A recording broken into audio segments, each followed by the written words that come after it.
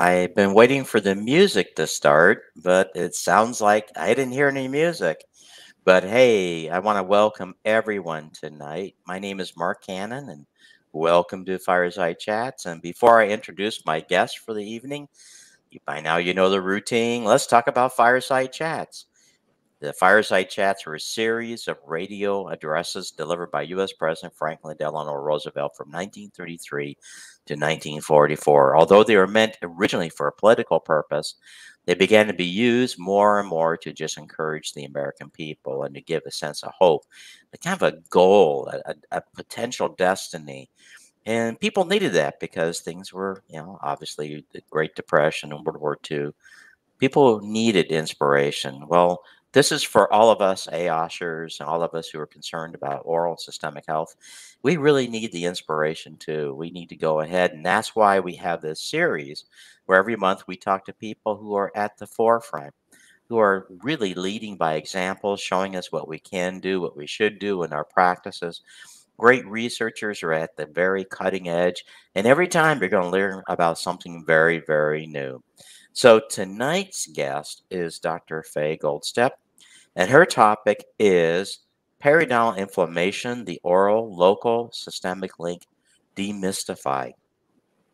Now, Dr. Goldstep has been a featured speaker, in the ADA seminar series and has lectured at the American Dental Association, the Yankee Dental Society, the American Academy of Cosmetic Dentistry, the Academy of General Dentistry, and the Big Apple Dental Conferences. She has lectured nationally and internationally on proactive, minimally invasive or intervention dentistry, soft tissue lasers, electronic caries detection, bioactive dental materials, innovations in hygiene and oral inflammation. She has served on the teaching faculties of the postgraduate programs in aesthetic dentistry at the State University of New York Buffalo, University of Florida, University of Minnesota, and the University of Missouri, Kansas City. She has been a contributing author to four textbooks and has published over 100 articles. She is a fellow of the American College of Dentists, the International Academy for Dental Facial Aesthetics, the American Society for Dental Aesthetics, and the Academy of Dentistry International. She sits on the editorial boards of the Oral Health Journal, Dental Tribune, U.S. Edition, Dental Asia, and Reality. She has been listed as one of the leaders in continuing education by Dentistry Today since 2002. And Dr. Goldstep is a consultant to a number of dental companies, but quite frankly, uh, when we actually have the final recording, we actually have to list those companies because that's you know that's important for CE. Now we've had a lot of discussions in the past on you know, periodontal disease and atherosclerosis and cardiovascular disease. We've talked about myocardial infarcts and diagnosis many times on Fireside. Haven't really gotten into cancer yet, but one day we will because the links between periodontal disease and cancer now is becoming so much more. Uh, uh did you? I hope everyone saw this last month, published in uh, the journal from the uh, one of the major cancer societies, oral health was one of the biggest predictors for survivability for oral and throat cancer. And of course, diabetes, blood brain barriers, uh, the defects in that, airway problems. We've all talked about that, pregnancy and sleep apnea. And of course, IBD, colitis, and cobblestone, gingiva. But tonight we're going to talk about inflammation locally in the gingiva and the overall systemic effects First, tell us a little bit, Dr. Goldstep, about your motivation because you've been an underachiever all your life. well, I love to, I don't know, I love to learn, I love to teach. And I think with teaching, you, you learn even more because as you teach someone else, you actually realize what you know, what you don't know, and then you go in in greater detail.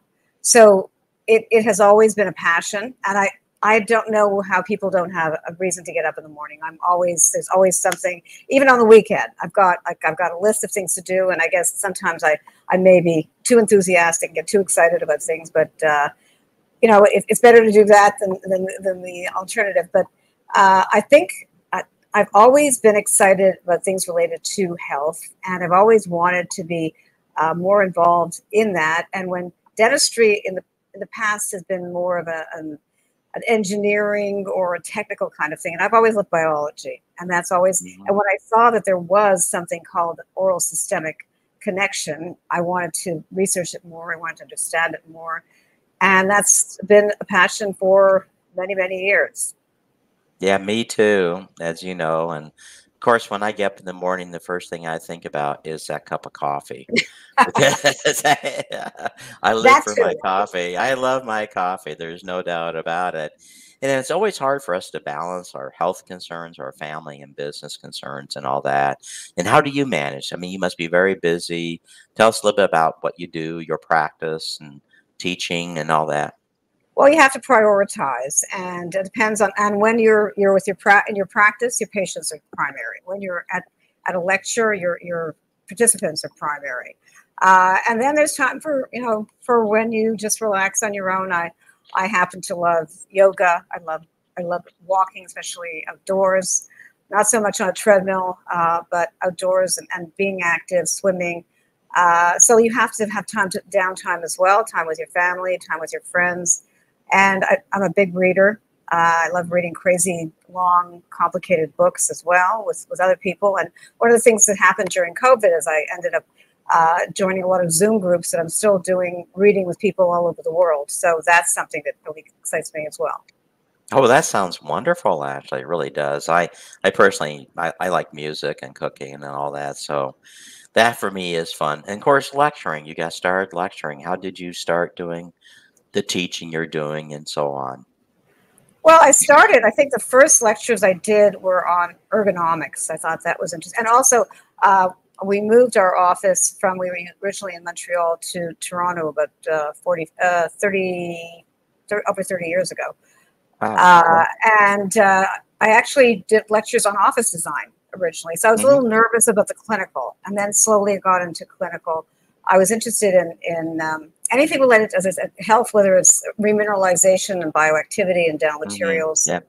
Yep. or anything related to then got into periodontal and the oral systemic link. But it always went, it started from either ergonomics and, and, office design and then graduated to other things related to clinical. And it's always, you know, whatever interests me at the time is what I, I find out more about. And then I love to simplify it for other people as well. That's so funny because, you know, I started teaching in to like the undergrads in 78, 1978. And when I built my office, I was lecturing on how to build an office. And my wife's an architect, and she had actually designed a lot of award winning, not a lot, but award winning offices. You don't design a lot of those, obviously. But she did work on a lot of offices, and she had some that were written up in magazines and all that for their design. And so, but we went the same path. I, I went into more into materials and remineralization. And then I got in the 80s, got really involved more in the microbiome and then probiotics in the 90s a lot and just went circled around totally. Now, you talked about your office. Um, a general practice, a group practice? Uh, general practice. Uh, when I started out many, many years ago, it was just me. Uh, then I ended up with an associate. And then afterwards, I moved in. My husband had an office across the street. We moved in together for various reasons. And we moved our office to uh, Ontario from Quebec. Uh, and then we had a, a, big group practice. And then we moved in with someone else as we're trying to slow down. And there is another office, but it's a group practice. So it's usually been in a group practice. The only time that I was totally alone uh, was right at the beginning. And then I ended up even. Um, associating with someone for a while. So I've, I've done the rounds of everything. Geez, me too. Uh, only we ended up selling everything about three and a half years ago uh, with the concept that by the time I hit 70, I could retire. Here I am full time as a, associate dean of academic affairs. Now, tell us a little bit before we get into inflammation, because this actually is a logical path. Tell, tell us a little bit about the Canadian DSOs. Are there Canadian DSOs right now? And uh, there are Canadian DSOs. Uh, DSOs are in trouble, I think, everywhere with, with in terms of uh, because interest rates are high, hard to get uh, staff. Uh, you can't get hygienists, you can't get uh, assistants. Mm-hmm. So I think DSOs are, are not doing well anywhere. I think the ones that are the unique ones, the ones that are more interested in oral systemic link and maybe connecting with uh, other, uh, you know, with medical people as well. I think that is the answer. That's not happening in Canada yet. In Canada, we have a different system because we have the medical system, which is covered uh, by our, our, you know, it's national health service. Yeah, it's a national. It's a yeah, it's a, it's a, it's a national health service.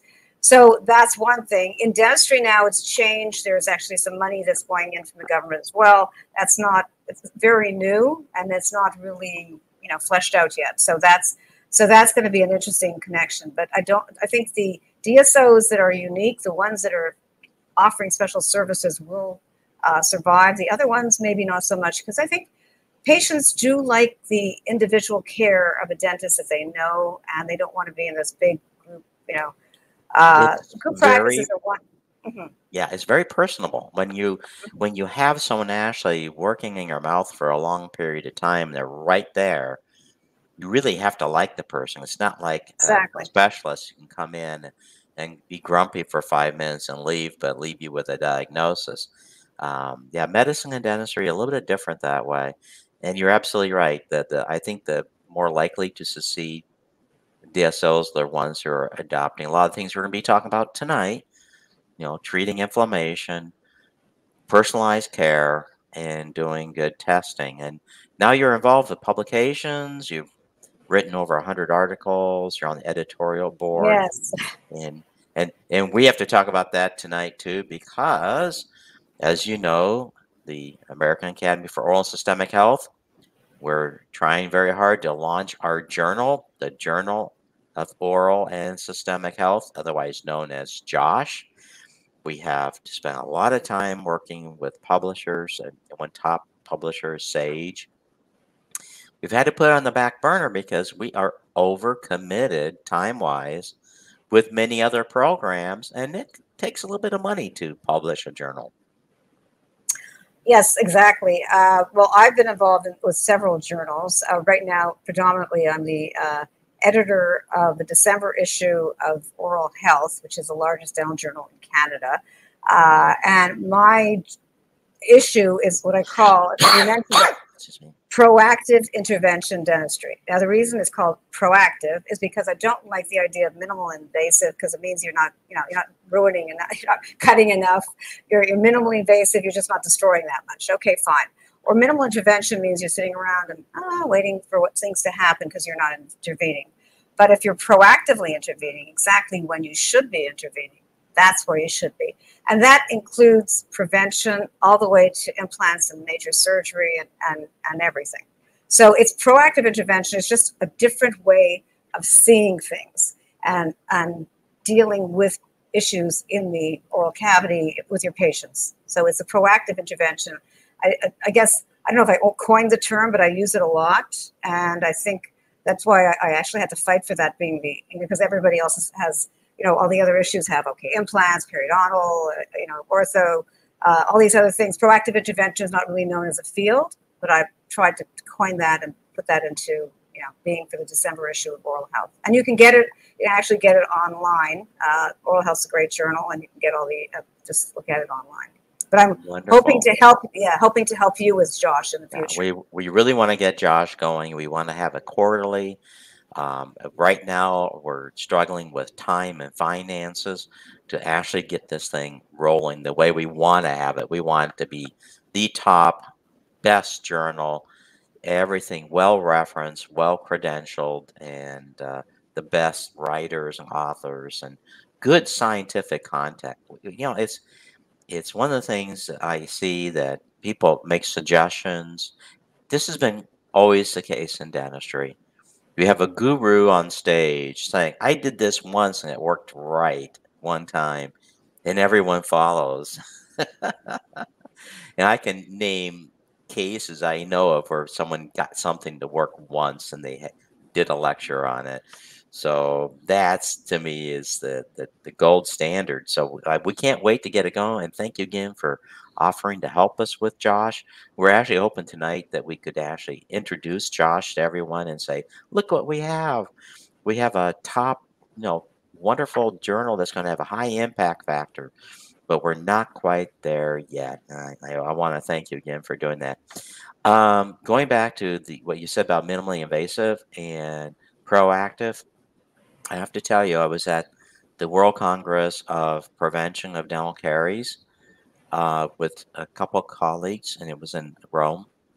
Half the presentations, this is supposed to be on prevention decay, half the presentations were on restorative materials. They hmm. missed the point. It's completely missed the point. You know, the idea is to prevent the decay, not to know what to put in. It was like it might as well have been any other conference. So let's talk about the main topic of tonight, which is periodontal inflammation simplified. And uh, what really is the initiator, and why do we have so many of our many, so many people, such a huge amount of our population, why do they have periodontal disease? Well, the initiation, the initiator is bacterial, uh, something bacterial, but it also has to do with the response of the patient or the individual. Like we're all patients, basically, we're all humans, and we all have bacteria, and it can affect us depending on how we, we react to it, because inflammation is the you know inflammation is a link between uh, what I call, as you mentioned, the local systemic we are in charge of the oral cavity where periodontal disease can cause inflammation. Other places in the body also have inflammation, and that adds to the overall burden. The way it starts in the oral cavity is somebody is predisposed to having a problem, either through a neglect or uh, genetics, or it just happens to be that kind of situation and it just goes out of control. It has to stop uh, by itself because inflammation is a healing process. Uh, inflammation without inflammation you would never heal anything. You would you would mm-hmm. die of a cut. You would die of, of any bacteria you know if you had some kind of infection. What happens with inflammation is it starts the process of healing but it has to also stop. If it goes out of control that's when you have a problem. Yes and this is where we always talk about innate immunity and then adaptive immunity and and especially, you know, I'm involved with cancer research, and the innate immunity is so incredibly important because that's the innate. It's the first line of defense. Uh, discuss that a little bit for all of us, and the, and the you know what happens with neutrophils. Well, neutrophils are your first responders, and neutrophils and macrophages and all of that. Uh, so you start off with those first responders, and actually one of the interesting things I'll be mentioning a little later on is when you have an overabundance of neutrophils, you know you have more inflammation that should should be there.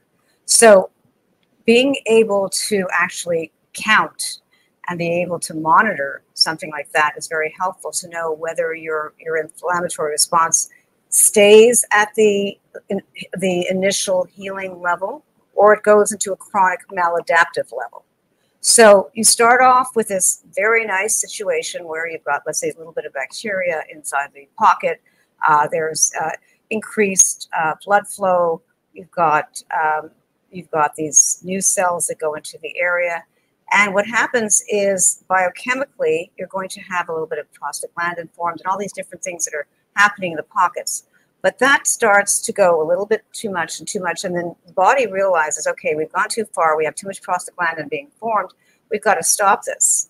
And then it creates these uh, something called lipoxin, which is something that comes in from the body itself. And that is a break. Okay, we're done. Healing is happening and it's done. It's over and we don't need any more inflammation. Or through our diet, we can have something called resolvins, which come from omega 3s. Now we know that omega 3s are, are dietary. You have them in mackerel, sardines, uh, salmon, uh, chia seeds, walnuts, all these different things. So in the diet, you can have something that can help you with inflammation as well. But it has to be stopped at the acute, innate level at the beginning. If it goes to the maladaptive level, chronic level, that's when you're in trouble. And that's where the oral systemic, the local systemic link kicks in.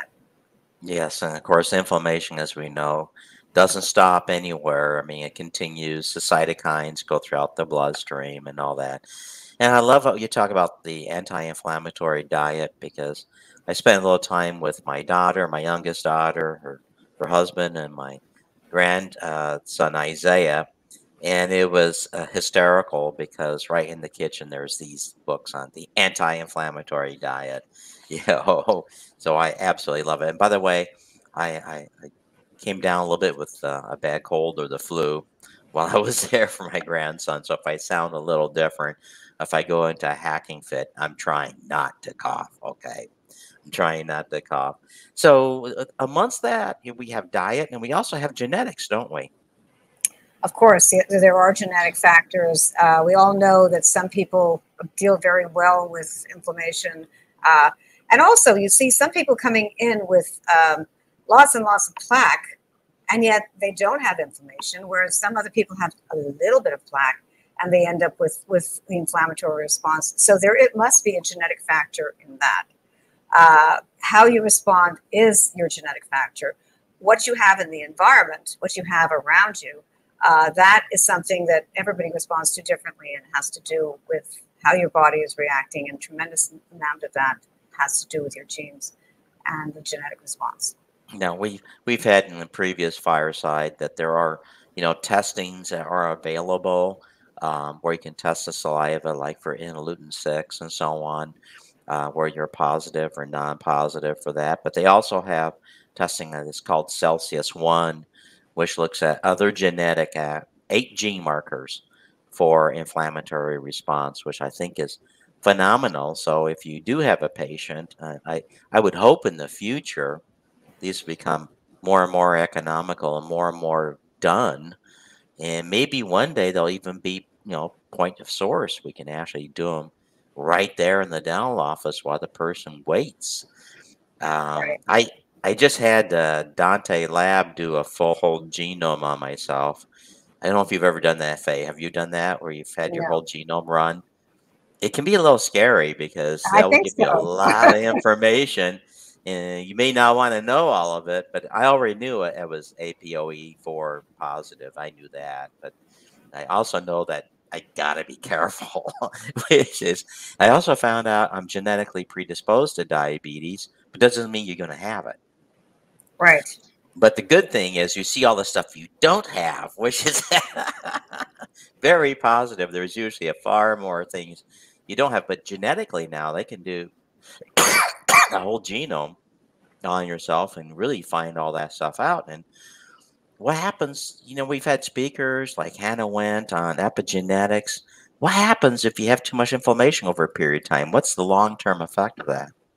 Well, I think if you know too much, it might be. I think if we treat it as if we don't know, sometimes it might be a little bit better. The interesting thing is uh, one of the things that I I think uh, uh, is really exciting is the fact that there is something now that is a point of care system where you can actually test how the patient's reacting to the inflammatory response, how much inflammation they have in, in their uh, in their saliva, and that is point of care. Is now being uh, uh in the process of being cleared by the FDA. I'm not exactly sure when that's going to happen completely, but they're working on on that. Uh, so that is exciting. It's called PerioMonitor, and it's mm-hmm. uh, been developed by a company in uh, Canada called Oral Science from Montreal, and it mm-hmm. is point of care, and it's how you actually respond to the inflammatory response. How many neutrophils you have per microliter, and uh, it's a colorimetric, uh, colorimetric test uh, so it, depending on the intensity of the color of the response is how is how serious your your inflammation is. And I wanted to go over that a lot. Um, sure. Uh, we can't jump to it kind of quick, but let's let's talk about no. Right we'll now, talk. Yeah. Because it's it's like a two minute test. Exactly, and it's point of care test. And you were saying it's sort of uh, you know science fiction that you're obviously it doesn't tell you what your genet- genetic predisposition is, but it does tell you exactly how you're responding to the bacteria challenge. So the bacterial challenge or whatever challenges there are in the oral cavity, maybe it's trauma, maybe it's bacterial, maybe it's a combination of the two. How many um, uh, how many neutrophils. It has to do with the number of neutrophils because, as we mentioned, the neutrophils are the first responders. So if you have a low level of neutrophils per uh, microliter, uh, then you're going to, that means you are, let's say it's less than a certain number, uh, that means that you don't have inflammation or the inflammatory response is under control. If it keeps going and going and going, you're way out of whack. And that is where the problems lie. I think I, I love the explanation. We had talked about this earlier that, you know, it's kind of like monitoring blood pressure uh, because high blood pressure can be a very silent killer. Uh, my wife had very high blood pressure, and then she had a stroke about two and a half years ago. And so it was not being controlled. Now, I had no idea. No one mentioned to me. I had no idea she had that high blood pressure. I knew she was on blood pressure meds. My assumption was that that was controlling her, but it doesn't 50% of people. But I was just kind of clueless uh, about what was going on. So this is a, I think it's a wonderful thing because it's so non-invasive, it's so quick. Um, PerioMonitor could be done with uh, anyone can do it. You don't have to have. You're not drawing blood. You're just using saliva. Yeah, it's just saliva, yeah. and it's point of care. And the patient gets right engaged. There. They're also engaged in the treatment. So they see, okay, the work treatment's working or it's not working. So that is really something that, that's exciting for them too. Because if they, you know, when you hear bleeding on probing, okay, you've got uh, less than 10% bleeding on probing, more than 10%, 20%, 30%. What do they yeah. understand about it? They, they say, oh, I brush my teeth and I never get bleeding. Why are you getting bleeding on probing? Well, they're just not brushing the right way and they're not doing it enough and maybe they're just touching their gums and they're not getting and, and there's yeah, and there's people who think the bleeding is is normal for them when they exactly. brush their teeth and floss. There's a lot of people who think that that is perfectly normal. I think we have to let everyone know how important this is because those are prime uh, neutrophils, and you have to kind of draw in your mind the correlation between those prime neutrophils and the prime microglia with inflammatory Alzheimer's, because again. Oh, yeah. Those prime microglia may not be the original neural microglia that are from embryonic stem cells or from embryonic cells, the original embryonic cells, they may actually be ones recruited to the brain that are from bone marrow stem cell origin. No one knows yet, but man, if that is actually the situation, it's a slam dunk now. There's been some really interesting articles the last few months with that, with Alzheimer's and periodontal disease. I love the whole idea of PerioMonitor. I'm so glad you're out telling everyone about it because I'm hoping it's going to be a relatively inexpensive test. It, it um, is going to be a very inexpensive test. Uh, I think they, they're, they're marketing it. It's going to be something that doesn't need any special equipment, uh, point of care, and it will not be expensive. So it can be done at every appointment within, you know, so patients can see at the initial appointment and every at, at every recall as well. So I can see all these the great concept. studies. I can see all these studies. Yeah. I mean, to I mean, there's a lot uh, of work being done to collab to corroborate all this, and there's some publications. If you go to PubMed, you will find a few. Um, but I can see how you could do this. You know, before and after standard of care, before and after probiotic therapy, before and after exactly. prebiotic therapy this would be a simple way of testing. So if anyone's out there listening who wants to get a study going, contact me. No, I'm just kidding. no, no, I think it, it, will be because it will tell you if things are working or not.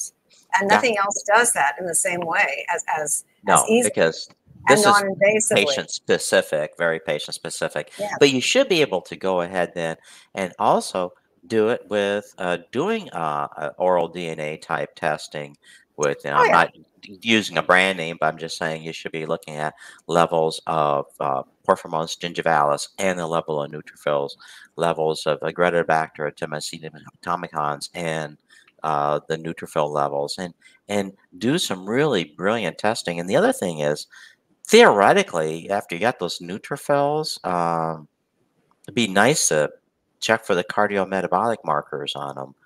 Uh, that's that's not there yet well, it's not there yet, but they are doing lots of different studies on that. Uh, yeah. But neutrophils, we know, are get primed and then they get more aggressive. And the more neutrophils you have in one area will affect the neutrophils you have in other areas.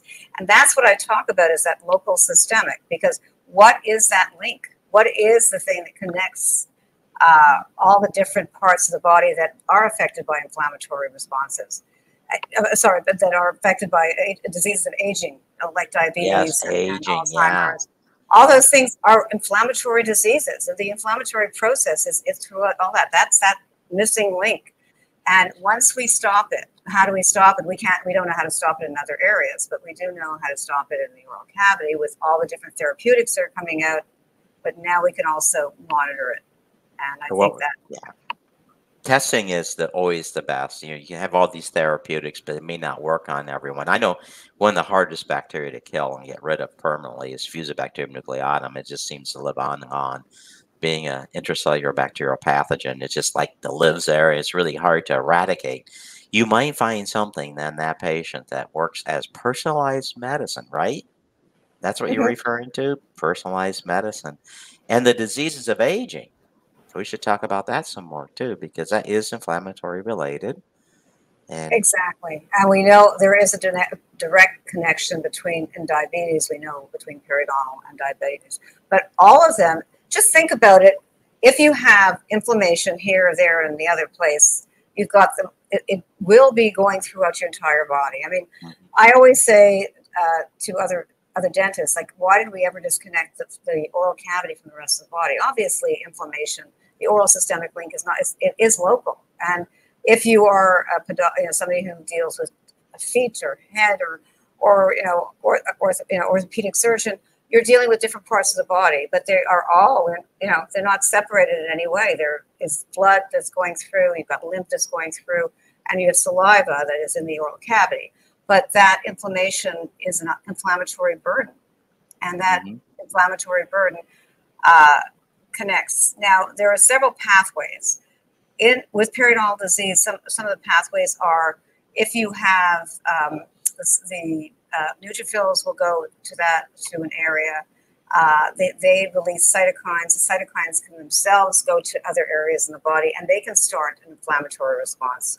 Or the cytokines can directly affect uh, the liver, the heart, the kidneys, all these things or they can also uh, get the uh, uh, C-reactive protein happening. So all these things are happening at once. Um, and we just know that if you have a high level of inflammation in the oral cavity, it's going to have a detrimental effect on the rest of the body. That is a known fact. And, yes, and, I, uh, diabetes is a, yeah. a beautiful example of, of a bidirectional type of pathology where not only do diabetics have worse issues with periodontal disease, but people with acute severe periodontal disease are far more likely to become a diabetic. I think that's the thing that is so often forgotten. In fact, there was a, wonderful presentation I saw probably just about two years ago. Lots of documentation on how many, after following, it was published in, a, I think, the British Dental Journal, uh, following people for 30 years, they showed that the, the diabetes was preceded by the periodontal disease. And I thought that was like the, the big eye opener. I, I actually thought this was like two or three years ago that everyone the next day in the dental profession would be talking about that, saying, you know, type 2 diabetics, when you see these people in their 50s and their 40s, that's because they've been having periodontal disease for the last 30 years untreated and chronic inflammation just building up the effect. That didn't and we know the, Fay. I was so disappointed. yeah, headlines anywhere. That's because not everybody. I mean, not everybody's as concerned, and not everybody reads, and, and there are a lot of other reasons. But diabetes is, is an easier way of showing the bidirectional. Mm-hmm. But we know that others can be bidirectional as well, or they all might might be connected to this oral inflammatory load, and they all will go to the areas where you're more susceptible to having a problem.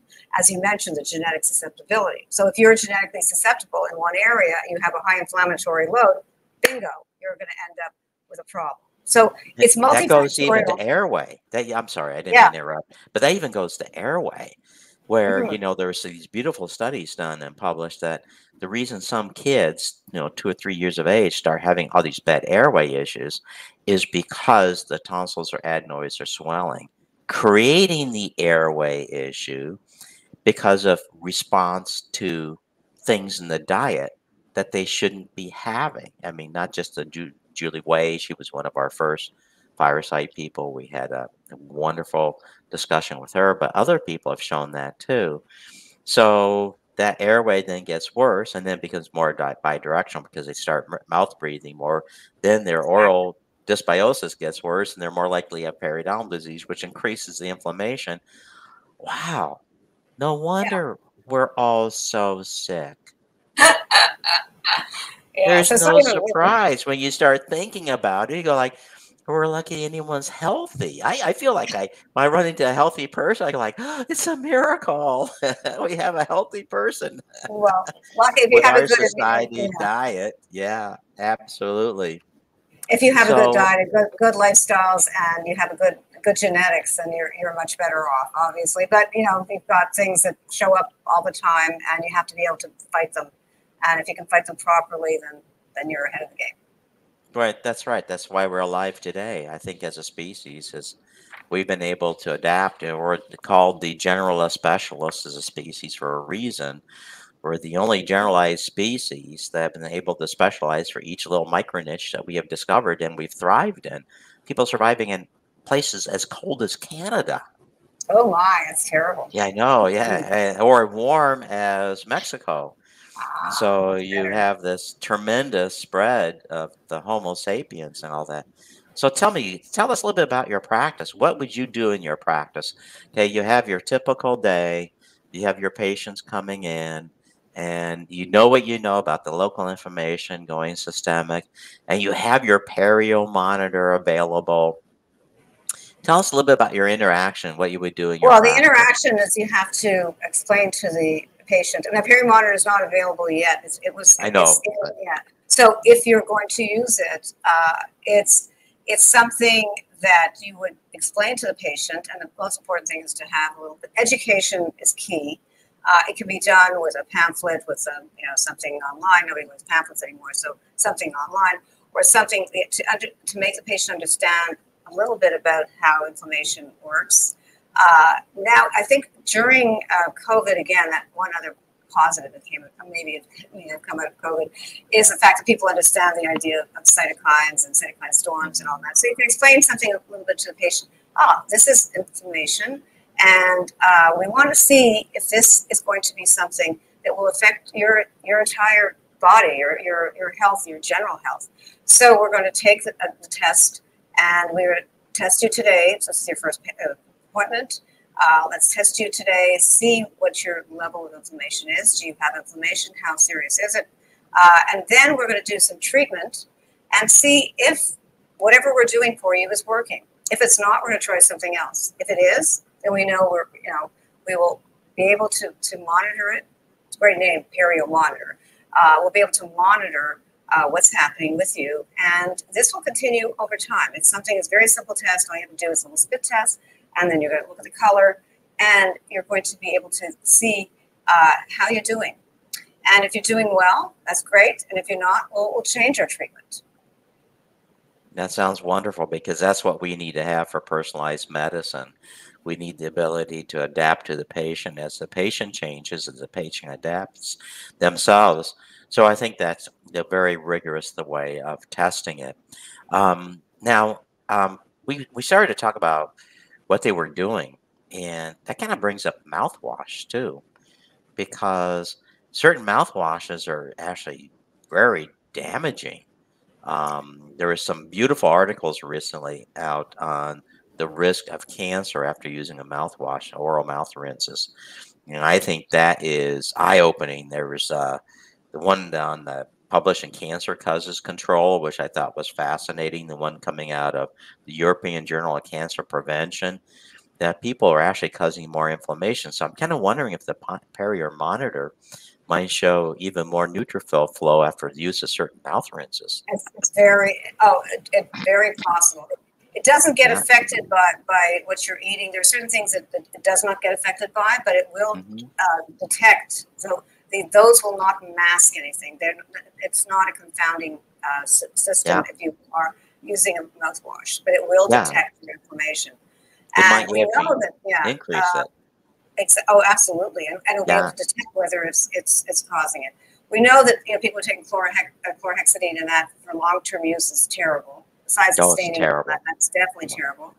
Uh, things that have SLS, and there's so many different mouthwashes. The best thing is is basically to, to just get rid of the bacteria in every any way possible. Uh, mechanically is the best, and you know that, and let your body work on its own, and, and you don't need those mouthwashes.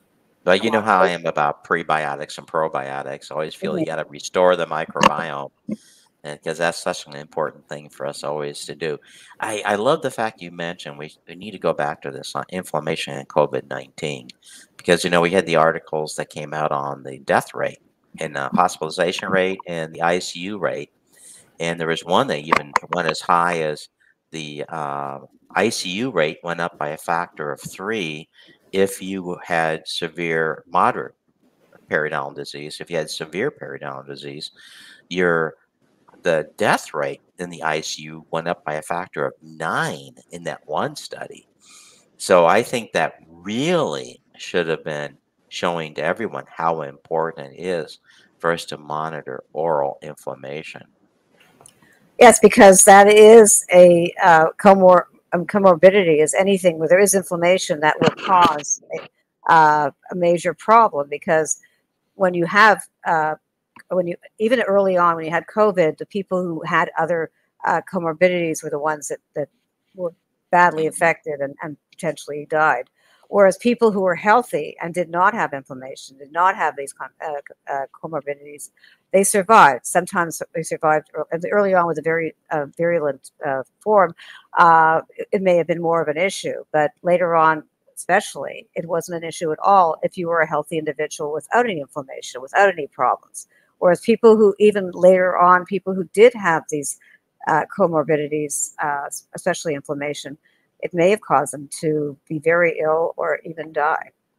Yes, and I think you're absolutely correct when you say that because it was a global comorbidity with uh, obesity, diabetes being at the very, very top. Of course, age, how old you are to begin with, but that affects your immune system. Aging Absolutely. affects your immune system you know, so it tends to be not as robust as you get older. And then you get the uh, obesity and the diabetes, and that's all connected to periodontal disease because that's also all connected to levels of nitric oxide. And again, we've had two firesides on nitric oxide. I'd like to have another one next year uh, because the importance of the serum level salivary levels of nitric oxide. Um, nitric oxide killing off a lot of the pathogens would therefore decrease the inflammatory load as you know and you know again some some of these pathogens like porphyromonas gingivalis being ibps you know intracellular bacterial pathogens they hijack your immune system. And so you get more and more of those prime neutrophils trying to come out and do some good and then the inflammation goes wild because the macrophages are actually producing pro-inflammatory cytokines more histamine and more nitric oxide, not to kill the bad guys, but to bring in more blood vessels so you get more gingival inflammation and more bleeding. So we were outsmarted, weren't we?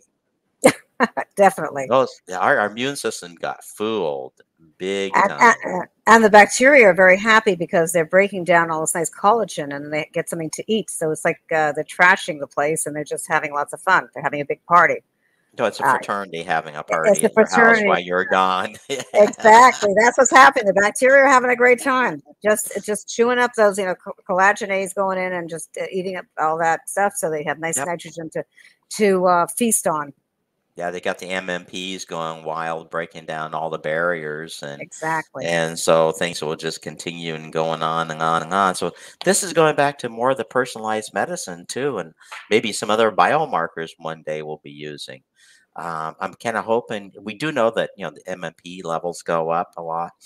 Um, you know, like one, two, eight, nine, uh, because collagenase and gelatinase, you were referring to it.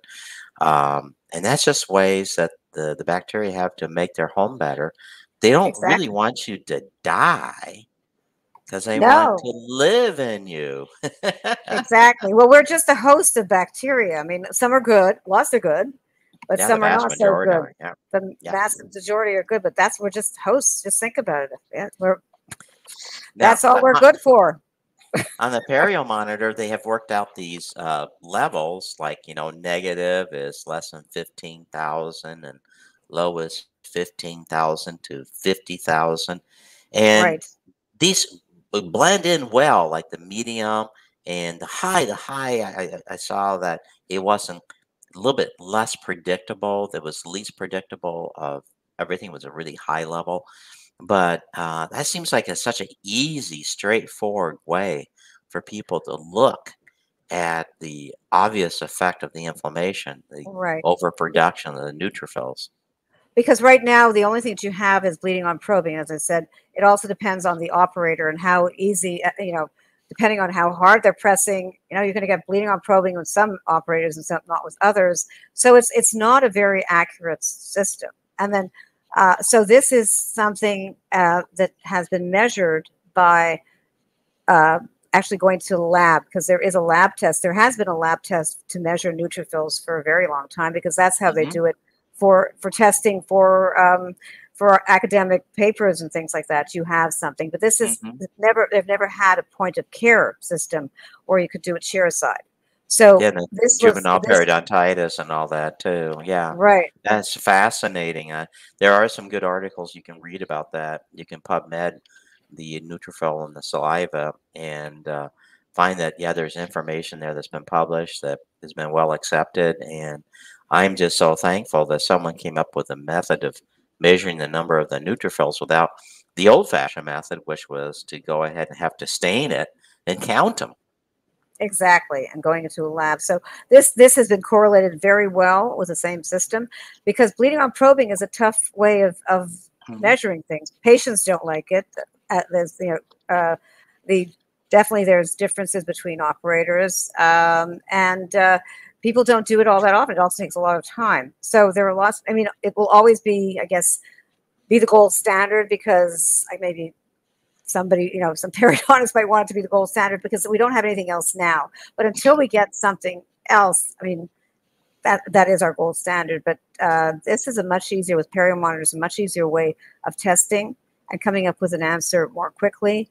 And uh, there are very few confounding factors because it isn't affected by uh, mouthwashes or anything like that. It's basically you are measuring neutrophils.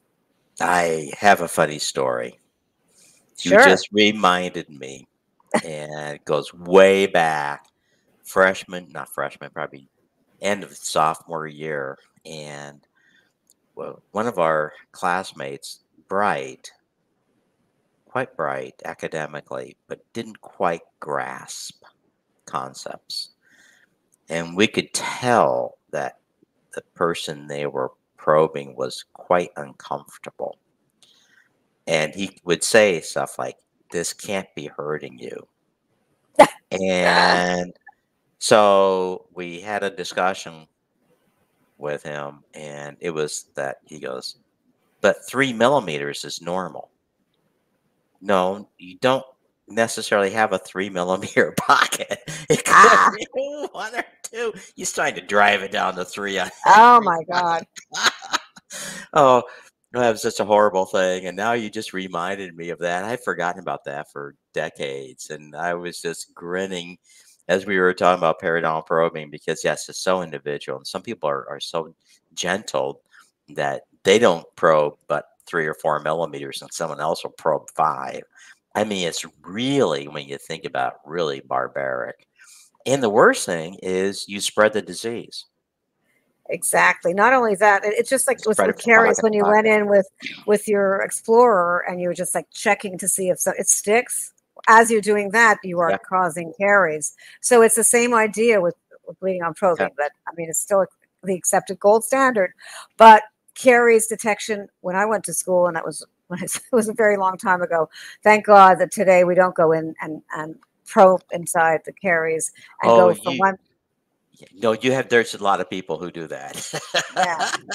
there's Oh, a lot of people who go who who will actually, you know, and they'll look for the big ones first, and they'll probe those first, and they'll go around to each individual tooth Oh. God! So they're inoculating them. They're not. Yeah, they're inoculating it. Yeah. So it's the same idea. So why are we doing that? Because we are barbaric. We have to have testing. We have to have therapeutics that work according to the testing. Yeah, I used to have people kind of make fun of me as I tried to clean off the Explorer. You know, as were going around, say you just don't want to be spreading it because there are niches where you actually get a lot of pathogens growing very hard and very fast, and uh, they can strain shift. You know, as you move their location, it could be a, a one of the many, many different strains of strep mutans, and some produce a low level of lactic acid, and others produce a much higher level of it. And so, as you go from tooth to tooth, you can really mess up the microbiome significantly. Now, what would you recommend for treatment? You were talking about just standard of care, uh, scaling, root planing. We'll start with uh, scaling, root planing. I'm a big believer in, in lasers. Uh, lasers mm-hmm. are, I mm-hmm. do a lot of lectures on lasers, and uh, after scaling and root planing, lasers really work well and minimally invasively, and they target the areas because you've got lots of uh, uh, bleeding and uh, it's dark. So hemoglobin and dark colors are what lasers want, and they go right to that mm-hmm. area and they remove the, uh, and they also go very uh, deep into the pockets without actually having to go in with a scaler all the way down. It can actually kill through the, the P. gingivalis and and AA uh, and all these other you know, uh, yeah, I, uh, the perio-pathogens that it will go right inside uh, through light, through the laser light. So, uh, yeah, and it has a lot of positive effects as well because the the um, uh, it, it, there you know there's secondary effects which are very beneficial, healing effects through the laser. I, I loved using the laser for treating the perio. I just thought that you know laser bacterial reduction was just one of the best things you could do and uh, especially it could be done very comfortably for the patient. Um, going way, way back when, um, you probably never heard about this. There was a technique called chemical curettage. Chemical? With, chemical with curettage, hyperformin. Oh. oh. And it was a beautiful technique that people will say were was buried intentionally but you would take an Orbine loop, and anyone listening to this who knows about chemical curettage, they're going to be like, I remember that. It works so well. You take a just an Orbine loop, and you go around, you put a little topical anesthetic and all, all the sulcus, let it set for a little bit. You would then introduce very carefully, isolate each quadrant, introduce a little hyperformin. Then go back afterwards. I don't know if it was like a minute later with a little citric acid to to uh, reverse the uh, because it's very alkaline. And then you take a curette and you go clean through all the sulcus area and all the epithelium and all of the bacteria would just come out like jelly. Wow. You just squeeze it together and you would have de-epithelialized all the sulcus and you get a nice, as long as you had to get on a good scaling and root planing job beforehand, you get a nice reattachment. You know, you reverse that pocket and it would shrink down. And I, I felt blessed. I was had learned how to do that in in dental school, and the periodontists were teaching it, and they had done some really nice research on it. But they kept saying people don't want this getting out because it takes a surgical case and turns it into a non-surgical case yeah. because it actually does what the bacteria hates exposes right. them to an alkaline environment yeah they love well, it acidic yeah. you hit them with something alkaline you de-epithelialize you remove all the dead necrotic epithelial tissue remove all that responding you have a nice clean you can do it with a with a topical anesthetic mm because it de-innervated as it was doing it. It's kind of like lasers to do it. And I always right. kind of joke yeah. when I was lecturing on just like you on using laser bacterial reduction and going around. You know, I would put a little topical, little nitrous, go around, laser everything out really nicely and clean it all up. It would heal beautifully. I said this is just a very expensive way of doing a chemical curettage, but it kind of takes us back to the it's, the brilliant. Yeah people of the past who knew what they were doing and the wisdom, right? It, it's like, Fay, it reminds me of airway. So much of the stuff that people are saying about airway today as being new, it was being taught back in the 70s and it just disappeared for a period of time. Well, can you look into your crystal ball and tell us what's going to happen in Canada over the next few years? in terms of dentistry or, or in terms of what? hey, uh, uh, you get the crystal ball. You can see anything in you want to. Ball. You can make okay. up anything that crystal ball. Just go look at that crystal ball. What's going to happen? I mean, uh, will DSOs come back? Will somebody with um, a, I think a large maybe, amount of money come in? And because I know there's some really big uh, private equities looking back at doing it again, yeah. but doing it right. As you know, let's do it well, right. Maybe uh, DSOs that are offering something special, more personalized care, maybe related to oral systemic or maybe related to something else. But personalized care is that you know your your provider, you know who's going to be seeing you each time, and your hygienist, because people come to offices for hygienists uh, because somebody who is gentle is the one that I want. Somebody who you can talk to, somebody you can you know have a relationship with in, in a very positive way. Somebody treats you like a human, and you know you feel you feel that you're not you know you're treated really well. So they go for for for personalized care. They go for a good hygienist, uh, and that's what they need to do. If DSOs are going to take over, or maybe it'll. The problem is with with independent dental offices, it's getting very expensive. And when, when kids, even in Canada, I mean, in Canada, it's not as expensive to go to dental school, but it's still expensive. So you end up with a big debt. Uh, you want to set up an office, it's way too expensive. Um, I started off, I associated with somebody, and then I bought a small practice, and it, it, it, was it was a slog. It was hard too, but it was not as hard as it is now.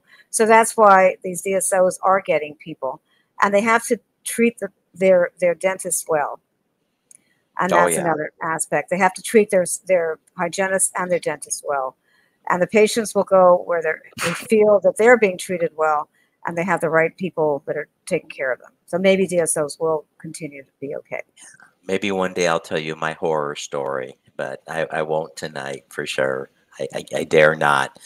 But anyway, um, it's it's really it's really interesting to me that we have perhaps a the one that we could go into a second golden age in dentistry because of all the research on inflammation, cardiac health, pregnancy health, diabetes, arthritis, cancer now, the loads of information, the beautiful work done on periodontal pathogens and cancer.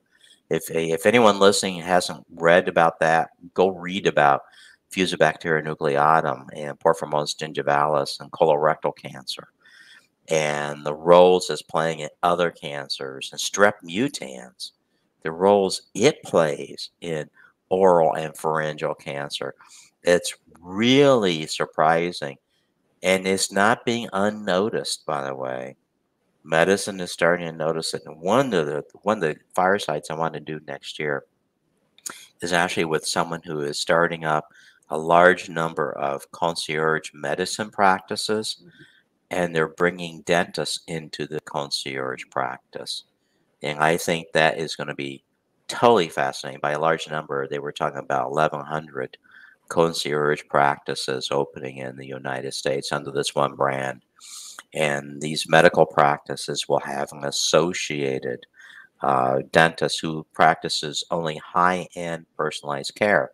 And the only way you learn how to do that is via places like AAOSH.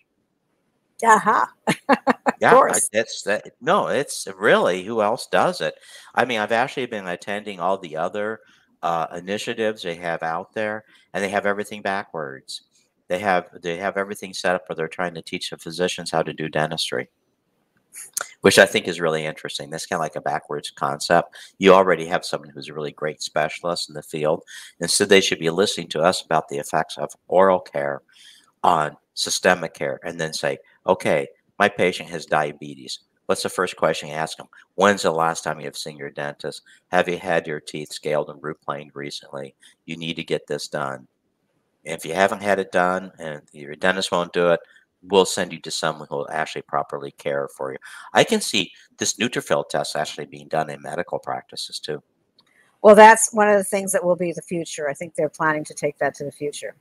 Oh, yeah, oh, future in the medical practices because that they are the ones that there will be that. Inter- this is the way that you're going to get the link between the collaboration, the cooperation between the different disciplines. I can see it one day being over the counter too. That might be the future. Yeah, you've got a crystal Yeah. ball too. Definitely got a crystal ball. Oh, Amazon. Amazon, Amazon One. They're going to be Okay. selling the DNA PCR units that are small. They're going to be selling the neutrophil tests that are small, and they'll be sending you kits personalized to your results. You know, you'll Very be taking a picture with your iPhone of your teeth, your gums, and all that. They're going to be sending you kits, and they're going to be saying, "This will color your teeth white. This will do this. This will do this." That is the future. But we are out of time, Fay. I am so sorry, but it is right now nine o'clock, uh, my time, probably your time too. My time too. Yeah, yeah. Uh, you may be f- much further north and much colder than I am. but anyway, I want to thank you so very much for uh, spending the evening with us and and answering uh, so many questions. And we've talked about Canadian healthcare a lot tonight, and uh, we've looked into the crystal ball of of Canada and what's going to go on in Canada. And so I want to thank you again so very much. And then Trish, if you want to bring up our reminders, uh, next time in uh, December 13th, it will be myself with Dr. Nabil Femi, and we are going to talk about mastermind courses. And this is going to be more interactive because we're going to be looking into who wants to be part of all these different mastermind courses. And we're going to be setting up mastermind courses that people can get together, and hopefully, it'll be going into regionals and maybe even statewide masterminds or people can even form a mastermind group for AAOSH in their community and actually meet personally together at a restaurant, have 12, 13, 14 of you get together once every two months to talk about what you've learned and what you can do in your practice. You might even go back to watch some of these firesides about how you can set things up. And then uh, we are having our Midwest Regional in Columbus, Ohio. That is January 19th. And that's going to be at the Nationwide Hotel. Now, it might be called a Nationwide Hotel, guys, but it's really not that big. I think that might be a little bit of exaggeration saying that's nationwide. That was a joke, but okay. it was Well, thanks. Thanks for someone laughing out there. Hope a few more other people are wondering nationwide. Wow, that's pretty Yeah. big. So again, I want to thank everyone and have a wonderful evening. And we don't have our music for the end of the show. I'm well, listening for the for music. Thank I you so much. Have a enjoyed it. wonderful evening. You bet.